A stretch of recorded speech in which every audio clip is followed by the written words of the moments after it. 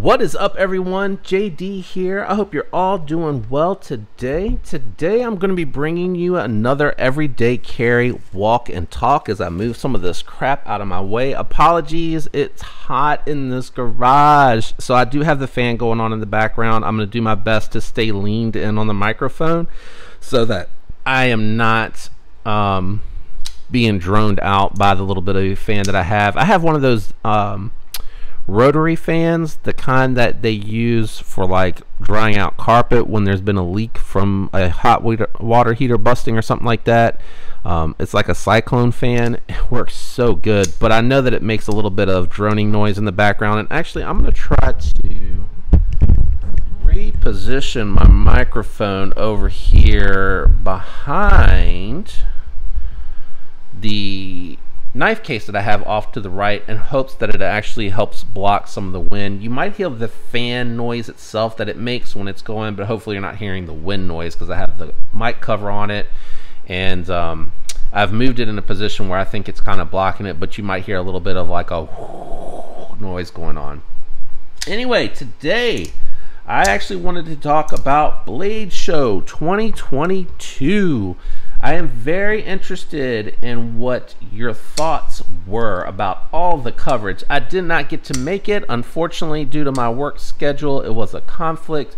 This will be the last one that I miss. I will be going back next year 100%. I cannot afford to fly out to Cali Ho and pay for all that gas that uh, it cost for those tickets to go out to the West. But anyway, I can't can't afford to go out there, so I am going to be missing out on all the Blade shows this year. I would only ever go to the East anyway. I'm in Virginia, if you didn't know that, so I'm just a hop, skip, and a jump away. I probably could have drove down, but I wouldn't have want to have gone down and kind of, you know, just seen what was left over. You know, all the good stuff is gone by the time Saturday rolls around. You might be able to find one or two things that people missed or didn't pick up on. But what I want to talk about is Blade Show 2022, all the coverage, everything that I've seen, the videos that I have watched, and my thoughts about that. So I think the very first thing that I want to talk about is my level of enthusiasm after seeing the show. So I kind of fall into two different spots. I felt very underwhelmed. I did not see a whole lot that has me super pumped or excited. As a matter of fact, I would say the Winter Blade Factor, which was not on display at Blade Show 2022, actually has more has me more excited about the knife industry as a whole because it's a new technology. It's something very different from anything that you're going to experience on the market right now. So that's what I'm saying when I talk about that it does not have me very pumped or excited for anything that's going on coming out of Blade Show 2022. I think it was very underwhelming. I think it was more or less the same old thing. You're seeing people take old models and turning them into button lock variants. Um, and here's my issue with that before I jump too far ahead. I don't want to see you take a model that's been out for a year or two or that it's one of your flagships and you just turn around and offer a button lock version of that. I would like to see what you are seeing happen with Civivi. They did one, one knife. They took the Elementum and they made it a new model. They made it longer. They made it taller. Not taller. They just made it longer. It has better ergos. To me, the uh, the Elementum button lock. I'm gonna try to bring this in a little bit because I feel like I'm too far away now. Um, and you can see the bottom of the mic stand. The Elementum button lock. I feel like even though it was an Elementum, they um, they changed it. They revised it. That's the word I've been searching for for the last 60 seconds. They revised it and made it fully improved, right? They gave it the button lock, they made it longer, it has better ergos. Um, still had a hollow grind, one of the very few that are still in their inventory that has a hollow grind on it, which makes it a very slicey knife. I personally like flat grinds because they can get them thin enough behind the edge for them to be slicey, but it still has enough of a robust blade to be strong and hard use and heavy use, and me not worry about it. Um, where you have other brands just taking they make a million versions of a particular knife and then they turn around and made a button lock version and that's all well and good because let's say that this is your absolute most favorite knife that they make period like the Begleiter is your jam. You love this thing. You love it more than anything, and they turned it into a button lock, and now you have the best of both worlds. And I get that. I understand that completely. I understand why you might like that. CJRB did it with the Feldspar. For me, and I'm going to leave this out here, I just feel like it's more exciting to have new models, to have different things being done to them than it is to revise old models and just be doing that. Now, I know that Kizer has come out with some new models, but they seem to be leaning in more heavy, in my opinion, coming out with older versions, turning them into button locks. And, you know, I understand if it's probably their best seller, why they would want to do that. Because button locks are popular. It's an opportunity to make money. Making money means that they can invest into research and development and make new knives, make new designs, work with designers to come up with new designs. And I want to do that. All I'm saying is that in Blade Show 2022, it seemed to be more of the same. Um, I didn't really see anything innovative. I didn't see anything that super duper jumped out at me on a regular basis. That's not to say that I didn't see anything, but for example, when Demko showed the 8022 it's basically an AD20.5 without the thumb studs and a bigger thumb hole. 3V, which is a more premium steel, but you can now pick up the 3V at Knife Center if you haven't already. If you've been holding out saying you want a more premium blade steel, 3V is it. I'm telling you. Um, it is a little bit less contoury and a little bit more chunkier, and it still has the same lock on it. So to me, I was kind of like, eh. But then if you watch the Knife Center video, you'll see where Demko pulled out an AD10 and it is a different lock system on that AD10 and it's a lock that he has made but I, I believe and I'm not sure it looked like Cold Steel also debuted a lock system that was like that. So a little bit different than this one that comes out. It looked like kind of the factor if you've seen that video where the factor is. But anyway it looks like it has the indention of the tool. It's let's just say this was flipped reverse. Actually I'm sorry. You know what? Let's just say this was inset. And they had the cutout here all down the side so that you could operate this inside the handle. This little space here is all you need to operate that. You, it looked like it was cut out big enough for your finger to get down in there and it looked like a thicker uh, full-sized uh, pocket knife and it had like that slide lock system but he, he said it was different than the shark lock in the video if I recall correctly which was very exciting to me. So you see how you have like this little cutout here? That's kind of what it looked like. Like you could put your finger down in here and you could actuate the lock exactly how you're doing the shark lock. Um, and it and that's what I love about these locks the um, well I don't have a bench Benchmade out here. The crossbar locks and the Shark lock is that it has 100% lockup on the knife. The compression lock, while it is wedged in here, it's still just a you know 20 or 30% lockup of the blade, whereas you're getting 100% on those knives, which is why they're so strong. But anyway, circling back, that was interesting. That was very interesting and very exciting. Otherwise, you're basically going to Blade Show maybe to experience knives that you haven't had the opportunity to experience in person. Definitely to try to get a one off that they made exclusively, which is usually a colorway, maybe a different steel. Um, maybe it has like ProTech puts that mother of pearl button on some of theirs, but that's really it and it's a huge markup for that. Like it's way too much. They get you on the excitement of the show and the product and having it in your hand. Um, and i just think it's way too marked up. So it's just not exciting for me in that regard.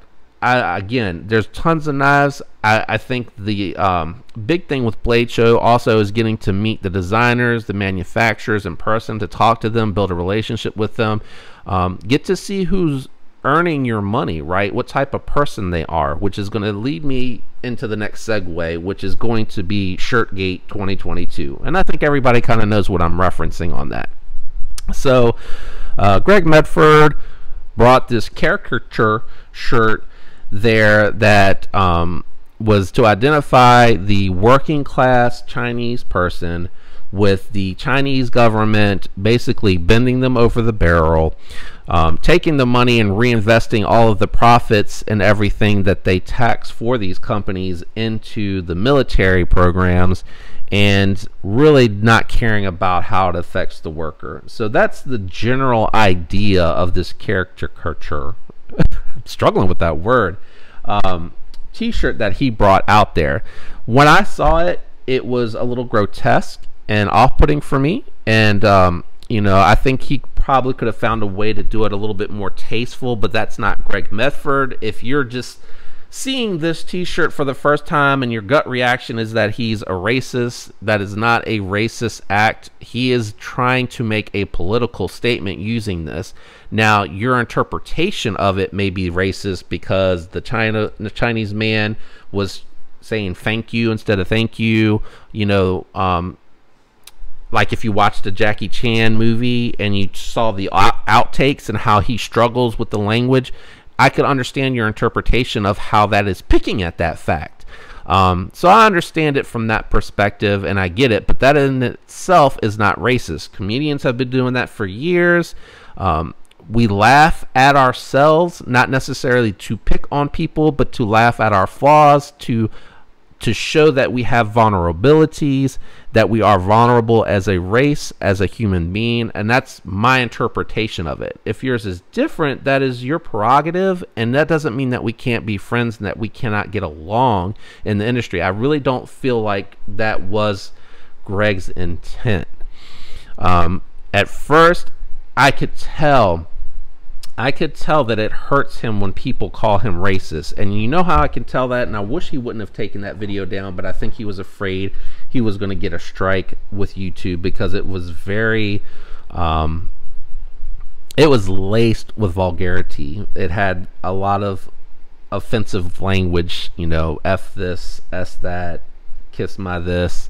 Um, but let me tell you a little bit of something. That that reaction in itself, if you take a step back and you look at it, you will realize that the reason that Greg reacted that way is because he's a human being who was hurt by the fact that he continuously gets called racist because he is not racist in that regard. Does he hate China as a country? As a political monster, yes, I really believe that that's where his rage comes from, where his anger, not his rage, where his anger comes from is that he hates that China steals technology, uses it to make a profit, steals the money from that company to invest in their military regime and to put and to pad their pockets, quite frankly, which is pretty much politicians in a whole, and then doesn't take care of the workers um, you know, it's.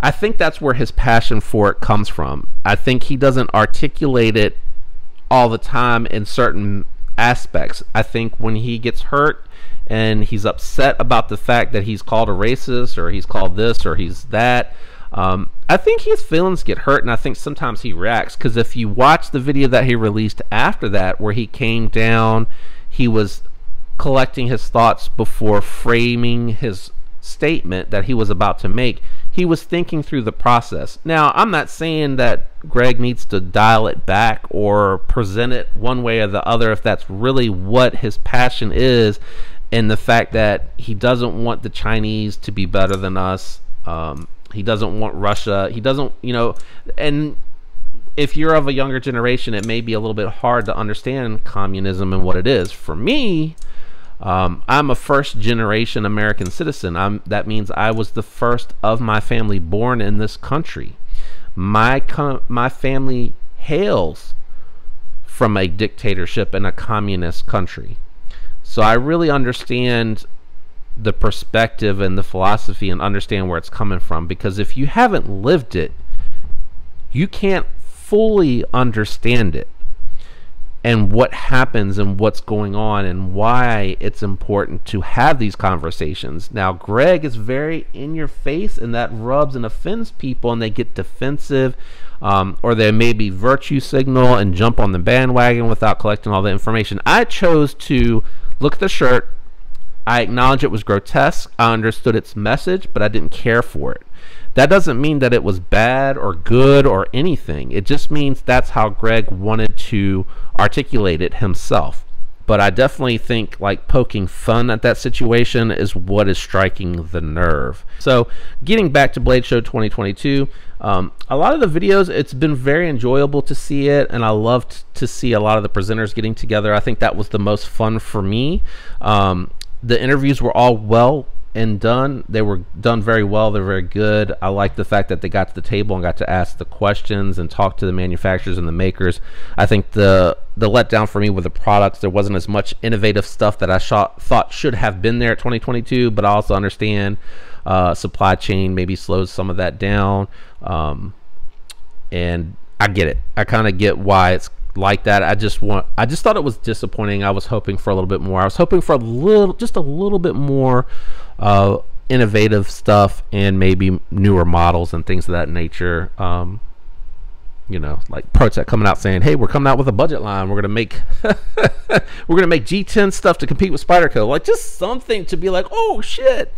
Um, that's just where I'm coming from. Anyway, this video is running a little bit long. I've kind of touched on the things that I wanted to touch on from Blade Show. Um, if you enjoyed today's video, I know it's a little bit deeper than normal. I don't typically go too deep into the weeds here, but I did want to touch on it because I, I wanted to talk to it, but I also wanted to hear others' perspective and others' thoughts on the situation and what they're thinking. Anyway, leave a like if you enjoyed the video, subscribe, turn on the notifications if you already have. Thank you for your support. You are awesome. And I hope all of you have a fantastic week. Until next time, peace.